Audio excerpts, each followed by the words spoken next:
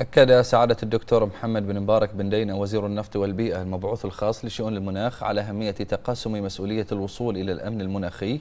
ومواكبة جهود الحد من الانبعاثات مع الجهود العالمية. جاء ذلك لدى رعاية سعادة وزير النفط والبيئة لحفل افتتاح ورشة العمل الدولية التي تحتضنها مملكة البحرين تحت شعار التحول نحو تطبيق الخطط الوطنية للتكيف.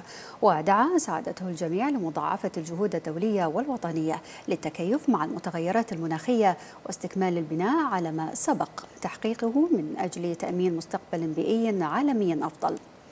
وأشاد سعادته بالمشاركة الواسعة التي شهدتها الورشة بحضور أكثر من 150 مشارك وخبير ومتحدث يمثلون أكثر من 80 دولة ما بين المشاركة الحضورية والمشاركة الافتراضية.